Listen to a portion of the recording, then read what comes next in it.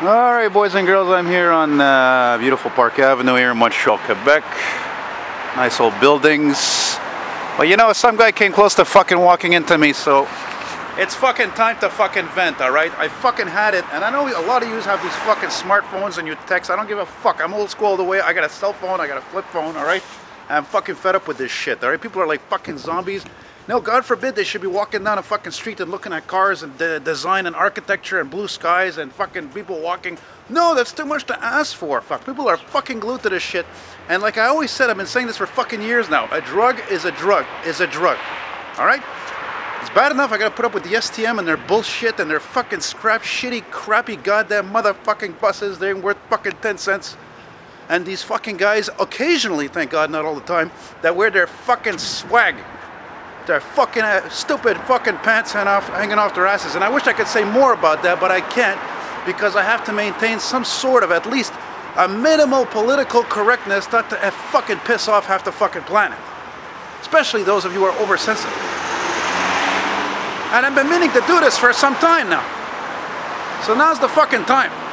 It's not like I'm in a fucking bad mood or anything, but uh, come on, fuck, you know? Fucking zombies.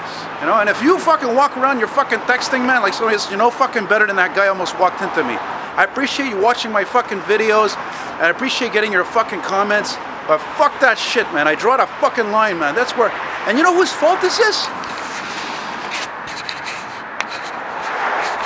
It's fucking man's fault. It's fucking man's fault for fucking inventing this shit.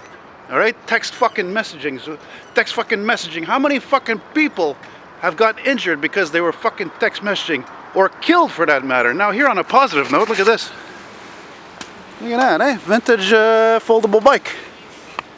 Yeah, look at that ambulance, that fucking paramedic. I bet you I could fucking ask these guys and they would tell me how often they get fucking calls related to people who are injured or killed because they were fucking texting.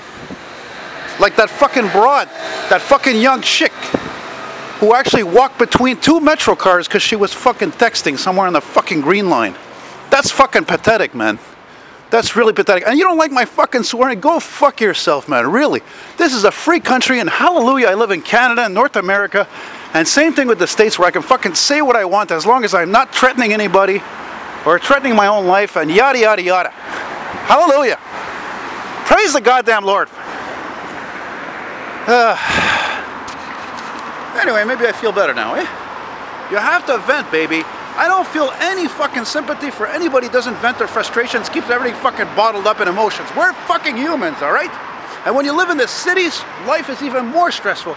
And when you're an emotional person like me, man, I tell you, there's so many things that get on your fucking nerves that you see all the fucking time that has changed needlessly, like the STM, for example. It's fucking mind-boggling. I will forever remain old school, hence my channel name, Retro Old School. And again, thank you for all of you for following my videos. I'm almost at 5,000 fucking subscribers. Have a nice day. Have a nice happy Kwanzaa, fucking Festivus, whatever. Take it easy. Bye.